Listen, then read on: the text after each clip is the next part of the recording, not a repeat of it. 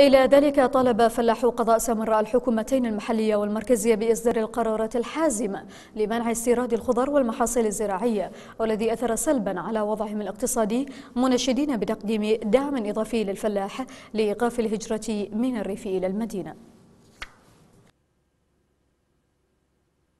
آه، بالنسبة للاستيراد المحاصيل الزراعية اليوم إحنا عندنا بضاعة رقم واحد من ناحية المخضر ومن ناحية الفواكه. بضاعة رقم واحد. الفلاح اليوم. دا يتعب. دا يتعب لأنه إحنا دا يستوردون دا يستوردون بضاعة من الخارج. وهاي البضاعة تأذي الفلاح بشكل مباشر.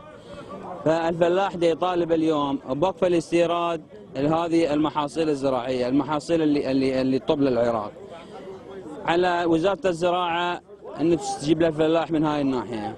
حتى في سبيل الفلاح شوية تصعد الأمور مالته ويتنعوي شوية لأن دا يتاذى حيل بهاي بسبب بسبب الاستيراد. اليوم من الطب البضاعة مال الفلاح وفقط المحاصيل المحلية الفلاح يستفاد بس إذا طب وياه بضاعة مستوردة يتبهدل الفلاح، ليش؟ لأن البضاعة المستوردة تنزل السوق الأسعار تنزل بيها.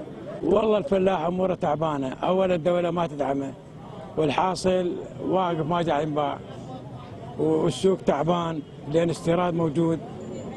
وتعرف أنت الفلاح هذا امور هذا السوق لحد الآن السبع 450 500 ما حد يشتري. الحلواني كان ينباع ب 1000 1000 وربع. أكو مبدأ بالعمل يسموه ميزان تجاري. الميزان التجاري عندما تتوازن قيمة الصادرات وقيمة الواردات يسموه ميزان متعادل. أما الميزان الإيجابي قيمة الصادرات ازيد من قيمة الواردات.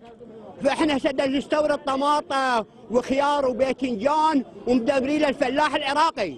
إحنا نريد دعم للفلاح بحيث الفلاح من ينزل العلاقه بالسوق لها سوق. والزايد والزايد يسوون مصانع تعليب يسوون مصانع تعليب للمواطنين.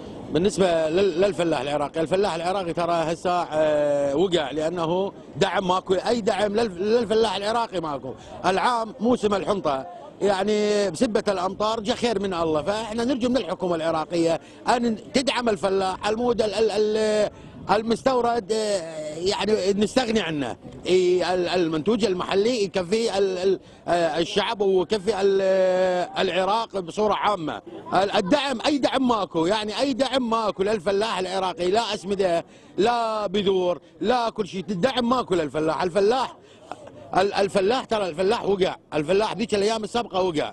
هسه إحنا كان ذيك المرحلة تعديناها إحنا هسه علينا العراق شوية يريد ينهض.